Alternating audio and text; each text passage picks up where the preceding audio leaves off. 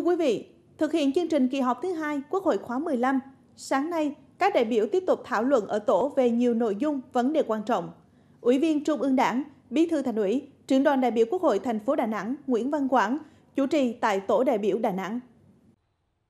Phiên họp này, các đại biểu tập trung bàn về kết quả thực hiện kế hoạch phát triển kinh tế xã hội năm 2021, dự kiến kế hoạch phát triển kinh tế xã hội năm 2022, báo cáo về công tác phòng chống COVID-19 và tình hình thực hiện nghị quyết số 30 về kỳ họp thứ nhất Quốc hội khóa 15, tình hình thực hiện ngân sách nhà nước năm 2021, dự toán ngân sách nhà nước, phương án phân bổ ngân sách trung ương năm 2022 và kế hoạch tài chính ngân sách nhà nước 3 năm từ năm 2022 đến năm 2024. Trong đó có việc bổ sung dự toán thu chi vốn viện trợ nước ngoài năm 2021 của tỉnh Quảng Nam, lùi thời điểm cải cách chính sách tiền lương.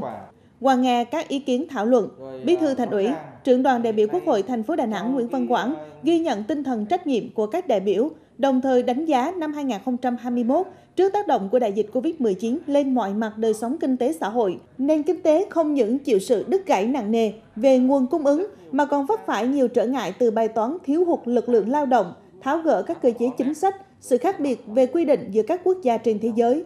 Về kế hoạch phát triển kinh tế xã hội năm 2022, Bí thư Thành ủy, trưởng đoàn đại biểu Quốc hội thành phố đề xuất chính phủ cần xây dựng thêm nhiều kịch bản tăng trưởng để kịp thời linh hoạt ứng phó với các nguy cơ, xem tăng trưởng là mục tiêu nhưng cần phải tránh rơi vào duy ý chí. Thì trước cái tình hình kinh tế thế giới, kinh tế trong nước thì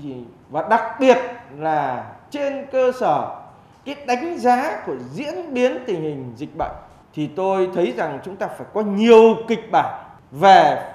kinh tế xã hội. Chúng ta cũng không thể khẳng định được là khi dịch bệnh nó có những cái diễn biến phức tạp, tình hình kinh tế thế giới nó có sự suy thoái một cách nghiêm trọng, rồi cái sức chống chịu của doanh nghiệp của chúng ta trong nước giảm đi, thì cái mức độ tăng trưởng của chúng ta nó phải thấp xuống và chúng ta sẽ phải khó khăn hơn về công tác phòng chống dịch COVID-19, với nhận định từ các báo cáo, nghiên cứu khoa học và kinh nghiệm từ thành phố Đà Nẵng qua 4 đợt dịch, Bí thư Thành ủy, trưởng đoàn đại biểu Quốc hội thành phố Đà Nẵng đề nghị thời gian đến, chính phủ cần tiếp tục xây dựng thêm nhiều biện pháp linh hoạt để kịp thời ứng phó với sự xuất hiện nhiều biến chủng mới của SARS-CoV-2 như hiện nay. Các cái biến chủng nó gây ra thì chúng ta rất là khó lường, nhưng nếu chúng ta không có cái sự chuẩn bị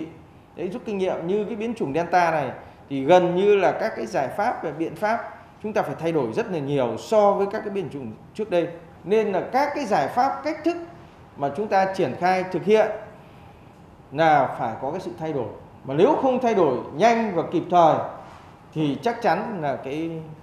hậu quả của cái việc đó nó sẽ rất là lớn.